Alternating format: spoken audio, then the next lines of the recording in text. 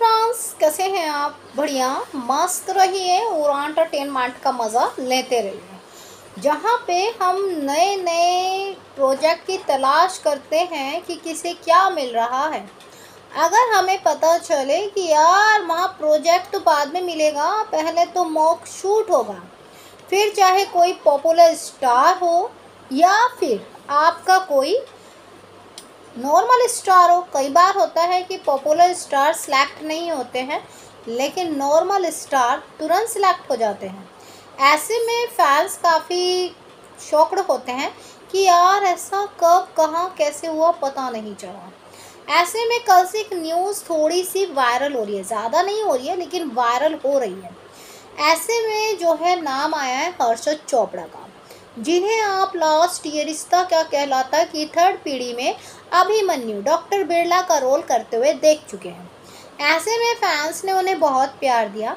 ऐसे में ये रिश्ता के जितने भी कलाकार होते हैं या उनमें काम कर कर जाते हैं उनकी पॉपुलरिटी में चार चाँद लग ही जाते हैं। मैं शुक्रिया अदा करती हूँ राजन साही के शो का और राजन साही का कि इनके शो से जो भी आ जाता है, उसकी पोजीशन में चार चाँद लग ही जाते हैं।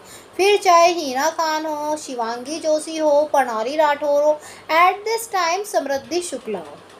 ऐसे में जो है, इस शो की इतनी बड़ी महानता है या ये कह सकते हैं कि इस शो की इतनी बड़ी पहचान है कि इसका जो हिस्सा बन रहा है उसे घर घर में एक पहचान मिल जाती है। तो इस शो का हर्षद चोपड़ा भी हिस्सा रह चुके हैं। ऐसे में हर्षद चोपड़ा ऑलरेडी पहले से ही काफ़ी ज़्यादा पॉपुलर थे। ऐसा कह सकते हैं कि राजन शाही का ये रिश्ता से पहले एक यही हर्षद चोपड़ा ऐसे स्टार हैं जो ऑलरेडी पहले ही काफ़ी पॉपुलर थे।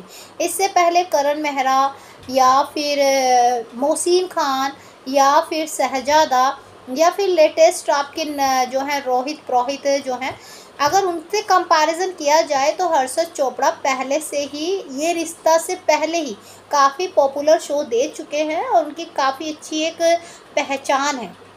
और ये रिश्ता के बाद तो उनके पोजिशन में चार चाँद खुद ही लग गए हैं। तो ऐसे में जो है वो सिर्फ़ एक इंटरव्यू वगैरह में तो नज़र आए, बाकी वो किसी प्रोजेक्ट पर नज़र नहीं आए। ऐसे में फैंस काफ़ी लंबे टाइम से उनके वेट कर रहे हैं कि भाई जो है, ऐसे में उन्होंने पहले ही बोल दिया था कि मैं जल्दी जल्दी शो नहीं लेता हूँ, थोड़ा ब्रेक लेता हूँ, फिर शो लेता हूँ और पहले स्क्रिप्ट देखता हूँ, क्योंकि मोस्टली जो है स्टार इस टीआरपी नहीं निकाल सकते हैं। टीआरपी सिर्फ़ आपकी स्टोरी ही निकाल सकती है। अगर स्टोरी में दम होगा तो टीआरपी निकल ही जाएगी। तो ऐसे में ये बात कोई डाउट नहीं है। कई बार बहुत सारे पॉपुलर स्टार आ जाते हैं पर टीआरपी नहीं आती है। तो ऐसे में जो है हर्षद चोपड़ा की कल से न्यूज़ निकल कर आ रही है कि हर्षद चोपड़ा ने पिछले महीने जो है मॉक शूट दिया था और काफ़ी हद तक वो वहाँ पर फाइनल भी हो गए हैं। अब कौन से निर्माता के साथ दिया है? टीवी शो का ही दिया है, ये भी बता दें आपको। और ऐसे में उन्होंने बताया कि जो शो है वो इस महीने जो है कहीं ना कहीं उसकी चर्चाएँ होने वाली थी, लेकिन वो शायद एक दो महीने के लिए डिले हो गया है। ये खुद हर्षद चोपड़ा ने नहीं बताया, ये न्यूज़ जो है निकल कर आई है। अब ये कितनी सच है, कितनी झूठ है, ये तो पता नहीं। लेकिन हाँ थोड़ा सा लग सकता है कि हर्षद चोपड़ा भी कुछ दिन पहले सोशल मीडिया पे काफ़ी एक्टिव नज़र आए थे, जहाँ पे उन्होंने जो है काफ़ी सारी फ़ोटो भी अपनी सोशल मीडिया पे पोस्ट की थी, जो कि सोशल मीडिया से काफ़ी कोसों दूर रहते हैं स्टार होने के बावजूद। तो ऐसे में ये न्यूज़ में आया है कि हर्षद चोपड़ा ने एक मॉक शूट मॉक शूट दिया था पिछले महीने और वो मोस्टली फाइनल हो गए।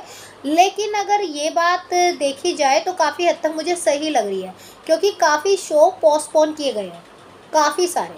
फिर चाहे वो स्टार के हों जी के हों, या फिर कलर के हों तो काफ़ी शो कहीं ना कहीं पोस्टपोन हुए हैं। वजह है कि 2024 is not lucky for TV क्योंकि मोस्टली जो है टीवी के लिए इतना अच्छा देखा नहीं गया है।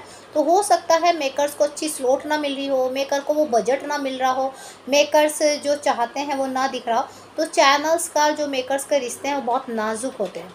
तो आपको इस बात में कितनी सच्चाई लगती है कमेंट करके ज़रूर बताइए। बाकी जानकारी के लिए डियर लाइक सब्सक्राइब दोनों बनता है।